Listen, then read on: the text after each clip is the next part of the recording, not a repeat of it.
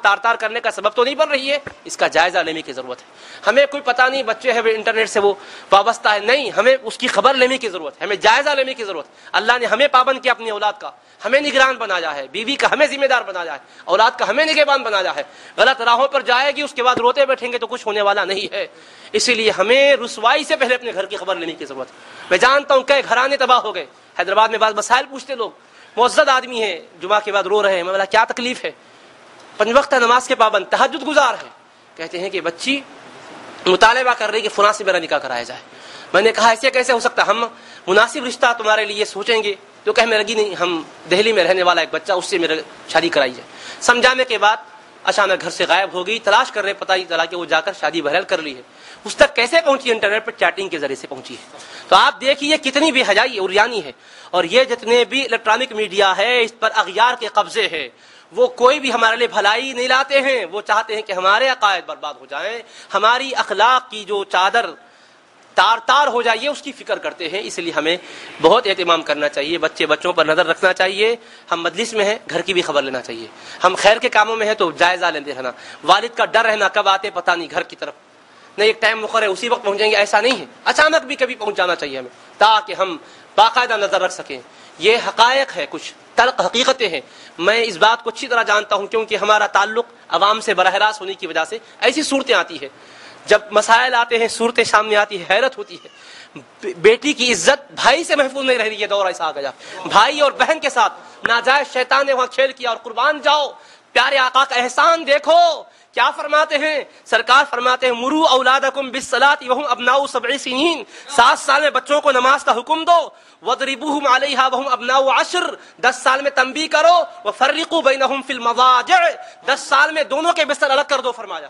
سوچئے بھائی اور بہن دونوں۔ دس سال میں بستر الگ کیوں فرماتے ہیں آقا؟ حالانکہ سن بلوغ کو میں کبھی بھی نہیں پہنچتے۔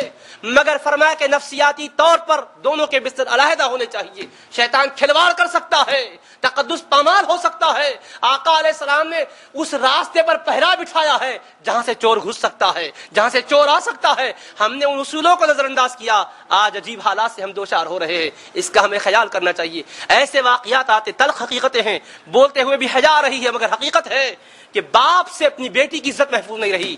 ایسے پرخطر حالات آ چکے اور سرور کون علیہ السلام نے پہلے ہی فرما دیا تھا کہ لتتبعن سنن من قبلکم شبرم بشبرن وزراعم بزراعن تم لوگ پہلے والوں کی روش پر چلنے لگ جاؤ گے اور بالش بالش ہاتھ بہات چلو گے۔ جیسا حزبن نالی بن نال جوتا ایک دوسرے کے برابر جیسا ایک سائز میں ہوتا ہے ویسے ایک اسی کے مماثل تم چلنے لگو گے۔ حتیٰ کہ ان میں کوئی بدنصیب اپنی ماں کے ساتھ منہ کالا کیا تھا، زنا کیا تھا، تو ایسے نالائق بھی آئیں گے جو اپنی ماں کے ساتھ منہ کالا کریں گے۔ یہ پیارے آقا علیہ السلام نے پیشن گوئی فرمائی ہے، صادق و مصدوق علیہ السلام کی خبر ہے۔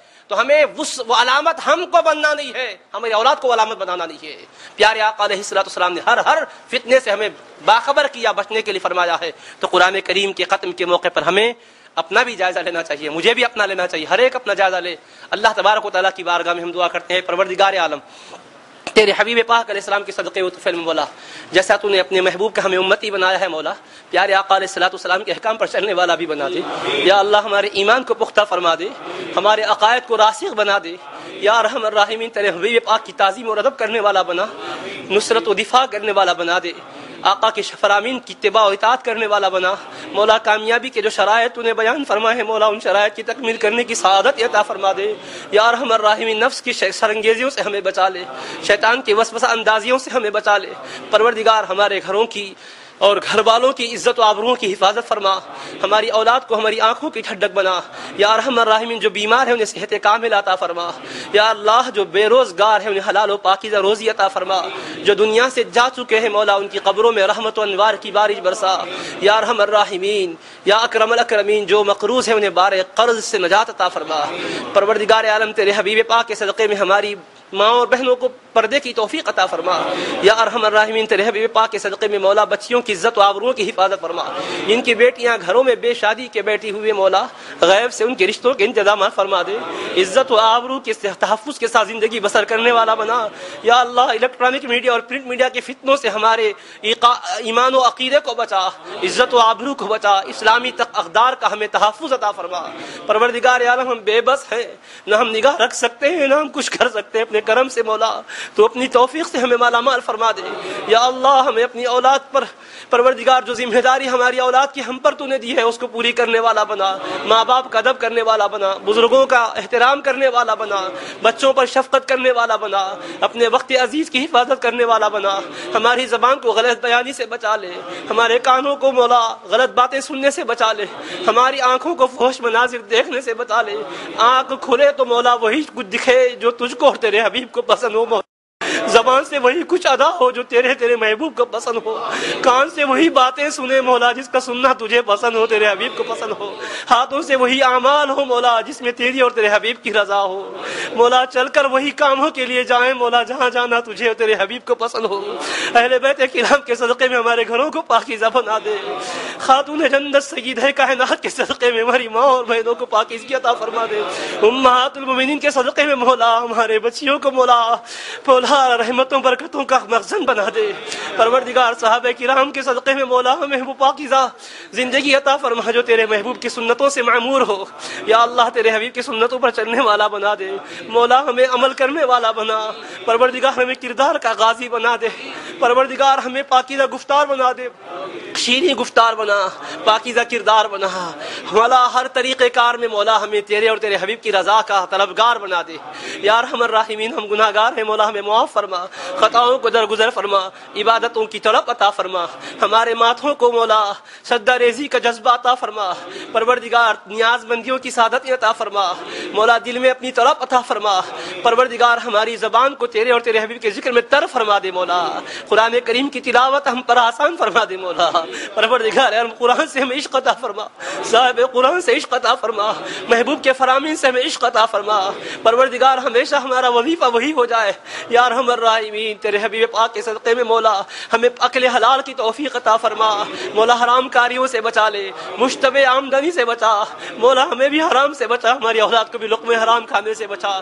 تمام مسلمانوں کو مولا، نیک اعمال کی توفیق عطا فرما۔ پروردگار، ہمیں امن و سلامتی عطا فرما۔ اقوام عالم کی نگاہوں میں ہمیں معزز فرما دے۔ پروردگار تو وہ تمام دنیا اسلام کے خلاف برسر پیکار ہے مولا۔ پروردگار ان کے الغار سے ہمیں بچا لے۔